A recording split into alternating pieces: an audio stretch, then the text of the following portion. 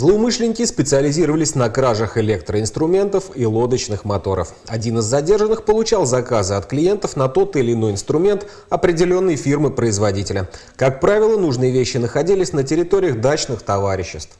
То, что вы сейчас видите, лишь малая часть похищенного. И давно вы этим занимались? А, С конца 16 года. То есть самого ценного что похищали? Вспомнить можете? А, Ценные, ну, лодочные моторы ценные. А так, ну вот, генераторы и виброплита, наверное.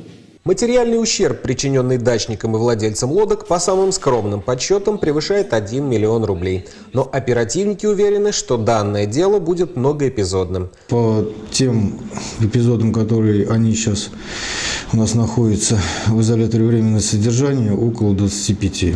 Да, но вещей изъято намного больше, то есть, естественно, намного больше будет эпизодов, намного больше будет потерпевших.